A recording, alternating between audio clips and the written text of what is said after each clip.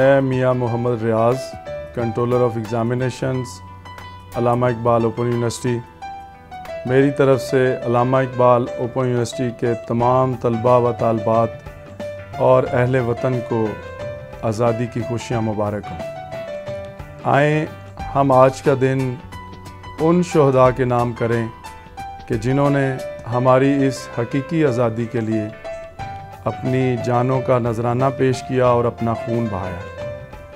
और ये अहद करें कि हमारा आने वाला हर दिन, हर लम्हा और हर पल इस्तकाम पाकिस्तान और उसके वक़ार के लिए सरफ हो।